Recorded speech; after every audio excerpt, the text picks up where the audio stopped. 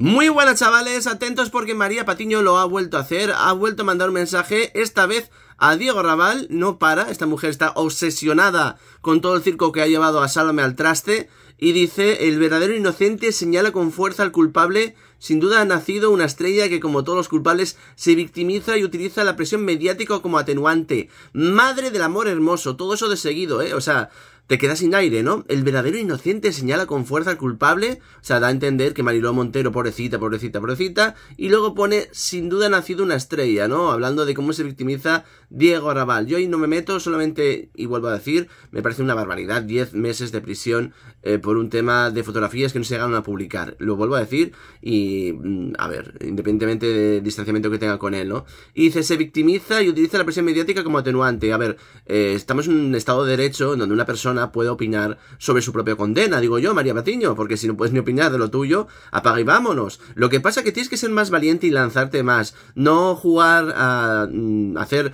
mensajes encriptados, ¿no? Yo creo que una buena periodista, que tú te jactas siempre de que es una periodista, pues diría nombres, apellidos y, no sé, dejaría de ser tan cobarde para siempre estar soltándolas por ahí, ¿no? Soltando perlitas. Por supuesto, en redes sociales la han puesto a caldo, es lo que toca en esta vida, ¿no? Y tú, los papeles de Málaga, que no se sabe nada, por cierto, de este tema. Eh, no sé de qué hablas esta vez, estoy perdida, es que la gente no se entera. De Diego Raval, que eres más... Bueno, hablan de que sí es Diego Raval. Y luego aquí, eh, ¿por qué hablas a media? Sé valiente, lo que decimos nosotros, ¿no? Sé valiente, da más datos. Ya has visto la entrevista al paparazzi Pablo Calvo, bueno, todo esto que están ahí, tic-tac, tic-tac. Vamos.